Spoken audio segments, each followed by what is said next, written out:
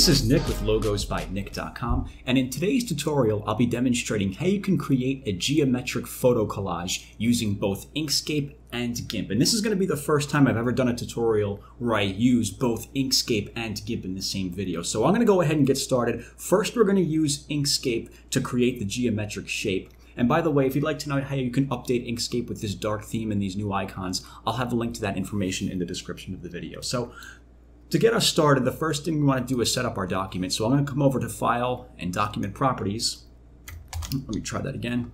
File, Document Properties, and I want to set the display units to pixels. And I want to change uh, where it says uh, Show Page Border. We want to turn that off, and we can close out of this. And up here where it says snap, enable snapping, we want to make sure we have that selected and we want this selected as well. This icon right here that says snap cusp nodes including rectangle corners. We're going to need that turned on for this video. And then I want to open up the align and distribute menu. We're going to want last selected shows from that drop down. And then we'll open up the edit objects, colors, gradients, and stroke menu as well. So uh, to get our shape started, I'm going to use the stars and polygons tool, which is over here. And from this toolbar up here, we, up here, we want to select polygons as opposed to stars. We want six corners, rounded and randomized, both set to zero. And then I'm going to hold Control and Shift on the keyboard and click and drag to create a polygon like that. And the way I'm creating it, I want to make sure that the corners are going vertically up and down like that. We don't want it like this where like the sides are going or are sitting vertically like that. We want this shape just like that. And once we've done that, uh, we can let go of everything. I'm going to grab the select tool and bring the opacity of this down a little bit. I'm going to right click on this shape and go to duplicate.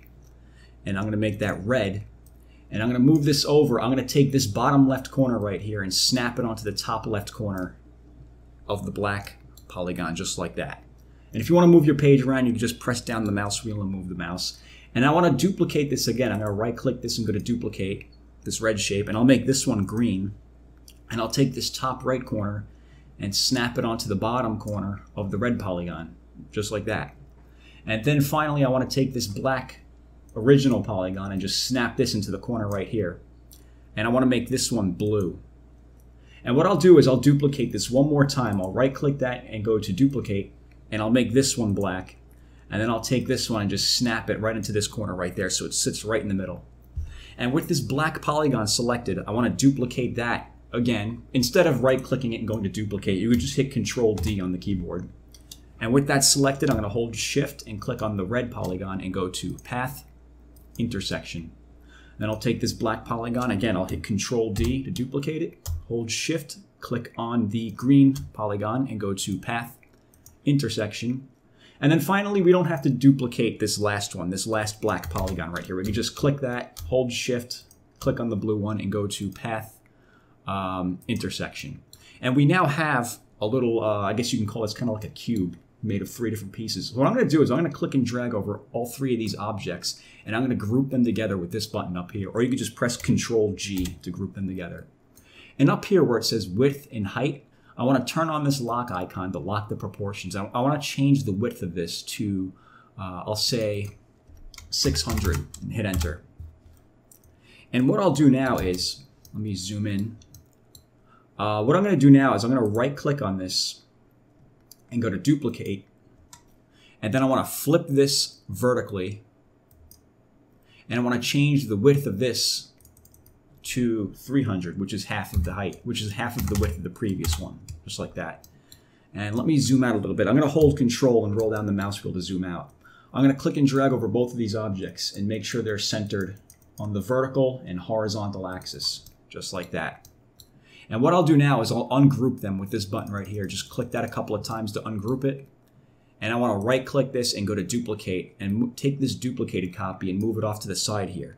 And what I'm going to do now is I'm going to take this top left corner right here and snap it onto this top middle corner of the smaller polygon right there. So I'm going to take this and just bring it over there and snap it on there just like that. And I want to click and drag over everything here. And I just want to turn this all black like that. So what we have now is we pretty much have a grid that we can use to draw our geometric shape. This is not going to be the actual shape we use. This is just a reference point. So let me click off of that to deselect everything. I'm going to grab the Bezier pen, which is over here, or you can just press B on the keyboard to grab that. And I want to snap to this top left corner over here and snap to this corner going straight across. Then bring this one down to this corner. Bring this one over here and then back to the starting point. And I want to make that one red. And I want to get rid of that black outline by holding shift and clicking on this X down here. And then I can just take the opacity and just bring that down about in half. And I'm going to create another shape down here. Uh, I'm going to snap to this corner, the same corner we originally started with, but I'm going to bring this one down here to this corner. And then I'll bring this one down here to the very far bottom left of the smaller polygon on the left-hand side. Bring this up to this corner, and then back to the starting point. And I'll make that one green. And again, just hold shift and click the X to get rid of the, the, uh, the black outline. I'll bring the opacity down. And I want to create another shape right here, starting at this corner. Come down here, then over here, and up here, back to the starting point. And I'm going to make this one red as well. I'll take, I'll make that red, get rid of the outline, hold shift, click the X, bring the opacity down. And then finally, I'm going to create one more L shape right here. So I'm going to start at this corner, come over here, and then around the outside edges to this corner, the inside corner, and then back to the starting point. And this one I will make blue. And again, get rid of the outline and bring the opacity down in half. And what we could do now is go back to the select tool and hold shift and click on the other colored shapes that we just created and just move them out of the way right here. And what I'm going to do is I'm just going to click and drag over all of this and just press delete on the keyboard to get rid of that because we don't really need that anymore. And what I'm going to do now is I'm going to take these shapes right here.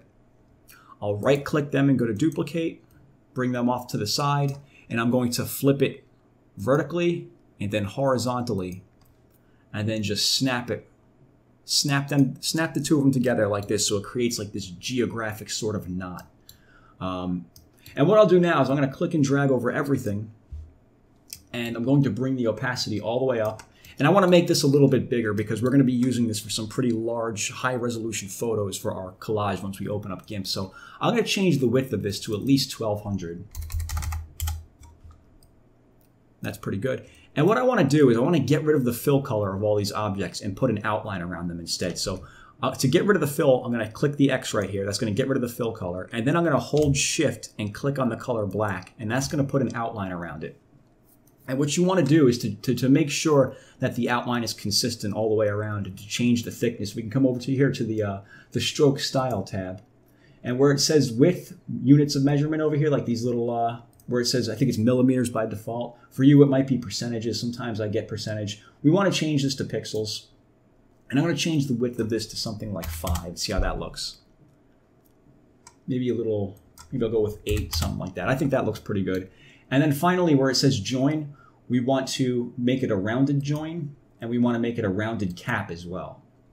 And once we've done that, we can we're finished with this shape. We can go ahead and export this to use with GIMP. So to export this, I'm going to leave everything selected as you see it. I'm going to go to File, Export PNG Image, and it's going to open up this export menu over here. And from the export area, you want selection. You want to make sure you have the selection tab highlighted. I'm going to click Export As, and I'm just going to export it to my desktop for now. I'm going to name this geographic shape go ahead and click save, and then go ahead and click export, and then you should have that sitting there on your desktop.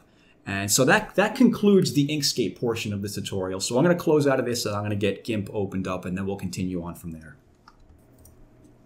Okay, so now we're ready to get started with the GIMP side of the tutorial. So in the description of the video, I will have three different images linked up. Go ahead and download those images and open up this one here, this pine forest uh, image with GIMP. As you can see, I have it opened here with GIMP.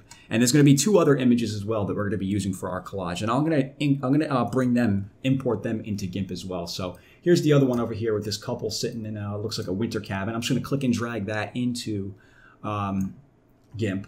And I'm just going to take this layer and bring it beneath the forest image so it's hidden behind there. And then finally, there's one more image, these uh, snowy mountains. I'm going to click and drag that into um, GIMP as well. And if you bring it to the top, you'll see that's the image. And I'm just going to take that and bring that to the bottom as well. And then finally, I'm going to click on this top layer right here. We want to bring in our image that we created with Inkscape. So let me go over to the desktop, and here it is right here, geographic shape.png. I'm going to click and drag that into GIMP like that. And there it is. And once we have that imported, I want to change this to white. So I'll go to Colors, and I'll choose, um, where is it? Invert. And I want to shrink this down a little bit because I don't want this to be the entire size of the page. So I'm going to grab the scaling tool, and I'm going to click on that shape, and I'm just going to click and drag on one of these corners and hold control to lock the proportions like that. And then go ahead and click scale to finalize that. And then I want to take the alignment tool and click on that object and make sure we have the relative to set to image. And I'm just going to center it up on the page both horizontally and vertically. And that's pretty much it. So I have the thumbnail opened up in this other tab over here so I can demonstrate what we're going to do next. I'm going to take segments of each image and place it into these areas of the uh, geographic, uh, geometric shape. So I'm going to use this first image over here. I'm going to take this image of like the uh, like the log cabin, and I'm going to duplicate that by clicking the button that says create a duplicate of the layer and add it to the image. And I'm just going to click and drag that layer so it goes up beneath the geographic shape or the geometric shape. Uh, and I'm going to place this in here. I'm going to choose flip tool and I want to choose horizontal. Click on that to flip it around. Then we'll go back to the move tool and I'll just put this in here because as you can see, it just it just fits better. It's going to work better to have him facing this way and her facing the other way and everything else will work out that way as well. Now, in order to cut out all of the area outside of this little L shape right here, I'm going to grab the paths tool and I'm going to zoom in on this by holding control and rolling up the mouse wheel. And I'm going to click to create a point right here. And I'm going to create another point down here. And we want to make sure we're staying within these white boundaries here. I'm going to put another point up here, another one up here. And again, just like in Inkscape, to move the page around, I'm just pressing down the mouse wheel and moving the mouse. And now we're, we're, we're going to close the path. In order to close the path, we can't just click on it. We have to hold control and click on it and then create a selection from this path. So I'm going to press enter on the keyboard to create a selection. And let me press 1 to zoom back out. And now we'll go to select, invert, and then edit, clear. Or you know what, let me undo that. Edit, undo, undo, clear. We first have to right click this layer and go to add alpha channel. And now we can go to edit, clear. My mistake. Okay. And you know what? While we're at it, let's go to these other layers and do that as well. Let's right click on that and go to add alpha channel. Go to this one, add alpha channel. Go to this one, add alpha channel. There we go. Now we can go back up to this second layer up here.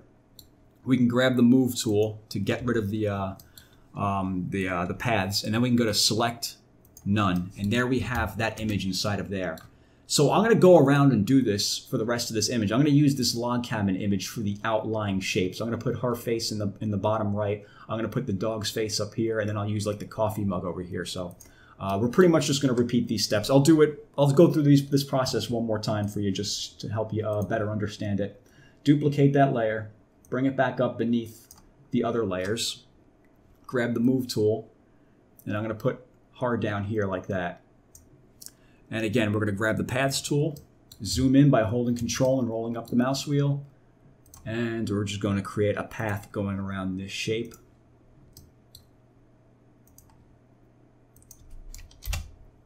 Then we'll go to select,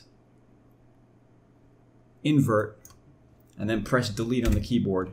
And then go to select, none. Or if you're using a Mac, you don't press delete, you just go to edit clear like I originally did. Then we go back to the move tool. Let me press one on the keyboard to zoom back out to 100%. And you should pretty much get the idea. I'll go through and, and do these two shapes right here, then I'll move on to the next image.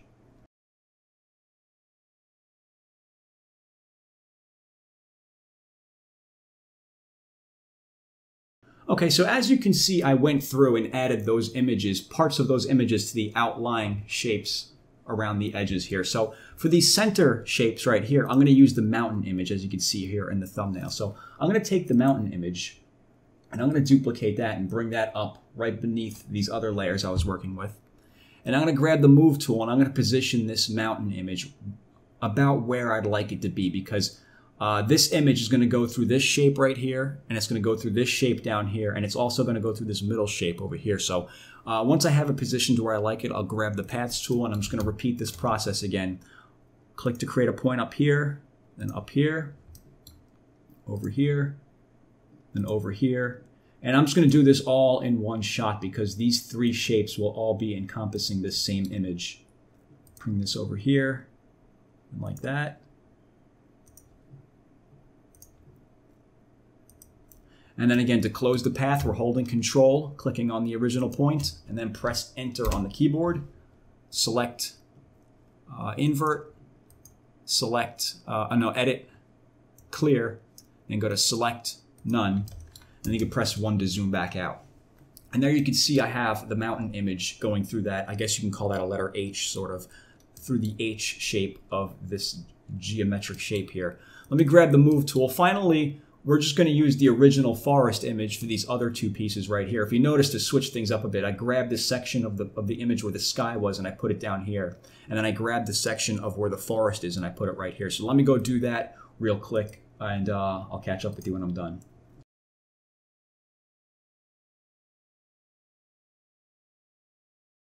Okay, so as you can see, I've finished up filling in everything of our geometric shape. So that should pretty much do it for the tutorial, except for one last final step. And this is this is really optional. You don't have to do this. I did this because I thought it was a nice touch. If you notice here, the colors and the uh, uh, the uh, the depth of the shadows, they look a little bit different than what I've done here.